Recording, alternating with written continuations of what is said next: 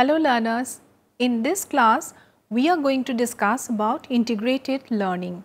There are several related terms used in the context of integrated learning and teaching like integrated curriculum, interdisciplinary teaching, multidisciplinary teaching, thematic teaching and synergistic teaching. Integrated learning comes in many varieties, connecting skills and knowledge from multiple sources and experiences, applying skills and practices in various settings, utilizing diverse and even contradictory points of view and understanding issues and positions contextually.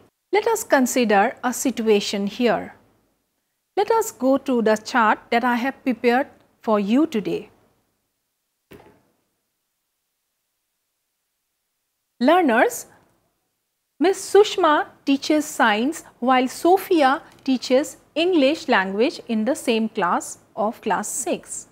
While Miss Sushma was teaching the characteristics of different parts of a plant showing systematically, on the other hand, Sophia was trying to develop appreciation of beauty in nature through a poem in the text.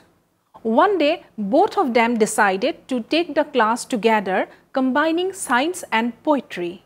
The topic they chose was related to flowers. They planned the lesson in details wherein Miss Sushma was to deal with the different types of flowers and the parts of hermaphrodite flowers which is also called as the complete flower and Miss Sophia was to recite and develop appreciation for beauty of different types of flowers.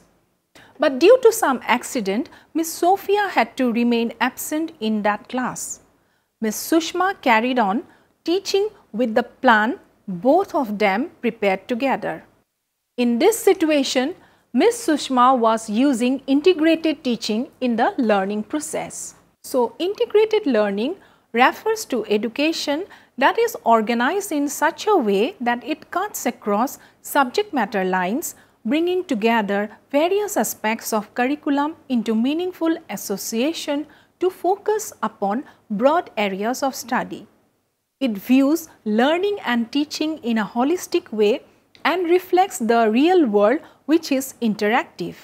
Therefore, integrated learning includes a combination of subjects, sources that go beyond textbooks, relationship among concepts, thematic units as organizing principles, an emphasis on projects, flexible schedules, flexible student groupings. Well learner, let us now understand the process and types of integration with the help of a chart that I have here brought for you.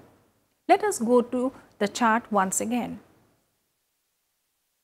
This is the process and types of integration under the types, there are three different types of integration. The first one is called the integration within the subject areas. Under this, the type of integration is called intradisciplinary integration. Second one is the between the subject areas. Under the between subject areas, there are two types of integration. One is called multidisciplinary and the second one is called interdisciplinary integration.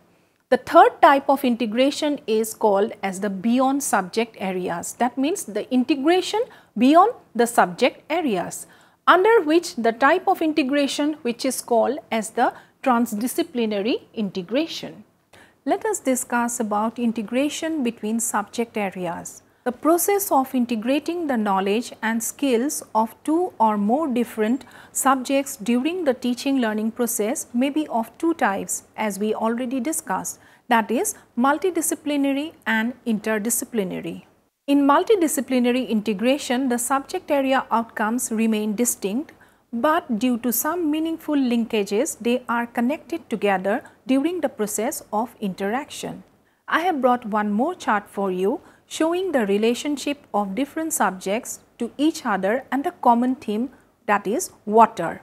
Let us take a look at the chart that I have brought for you. In this chart, the common theme that I have taken is water. Now take a look at this figure and see and try to understand how we can with the help of one topic different teachers can teach their subject areas. Suppose take the example of a mathematics teacher. A mathematics teacher related to water, he can teach about the measurement of volumes and flow of water. For a science teacher, he can relate the theme water by teaching about the removal of impurities, waterborne diseases and water cycles. What a geography teacher will do? The geography teacher will relate the theme water with the topics like natural sources of water springs, rivers, oceans, underground sources of water. Now what a language teacher will do with water? A language teacher can relate the theme water by teaching about the composition like prose and poetry on water, rain, rivers, springs, etc.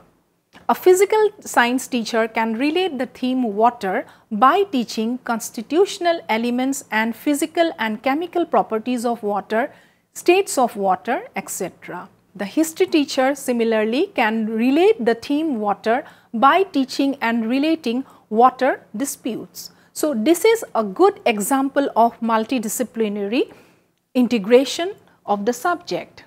Now, let us discuss about interdisciplinary integration. Interdisciplinary integration is a process of integrating the interdependent or common knowledge and skills from more than one subject areas during transaction process. For example, concept of mathematics and science are acquired by integrating to singing, sculpting and painting and dancing. Let us take a look at the figure that I have brought for you relating to the example of integration of learning. In this figure, the main theme or the concept is the mathematics and science. Now the teachers really how they will relate mathematics with science? Well, they can take the help of singing, sculpting, painting and dancing. This is called as the integration of subjects. Now let us discuss about integration beyond the subject areas. Integration beyond subject areas or transdisciplinary integration is a process where the students day-to-day -day experiences are connected to the different subject areas to acquire knowledge and skills. In other words, interdisciplinary and disciplinary skills in a real life context are focused in transdisciplinary integration. For example, project based on learning and teaching. In a project based on learning students tackle a local problem and then learn the concepts and skills through the process of exploring and solving projects. Let us again look at the picture that I have brought for you. This is the example of transdisciplinary interaction. Here as we already told that the theme goes beyond the subject areas. So here mostly emphasis will be given on the real world contexts, students questions and life skills and this ultimately is a very practical knowledge that a student can ever get from their integrated teams. Well learners, I hope by now you have come to know about the various different types of integration of learning. Thank you so much. See you in the next class.